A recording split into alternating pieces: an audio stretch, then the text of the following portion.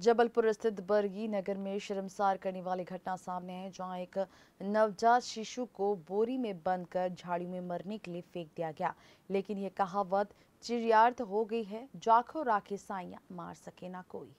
आज बरगी नगर में सुबह सूचना मिली थी कि हितकार्णी स्कूल के पास मैदान में एक बोरी के अंदर नवजात शिशु के रोने की आवाज़ आ रही है।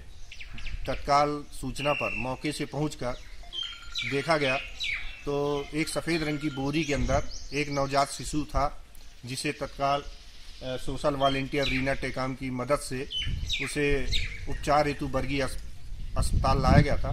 बरगी अस्पताल के डॉक्टर द्वारा मेडिकल अस्पताल रेफर किए जाने पर नवजात शिशु को मेडिकल अस्पताल के नर्सरी वार्ड में भर्ती कराया गया है तथा वापसी जाकर उसकी नवजात शिशु की माँ की पता तलाश की जा रही है तथा अग्रिम कार्रवाई की जाती है।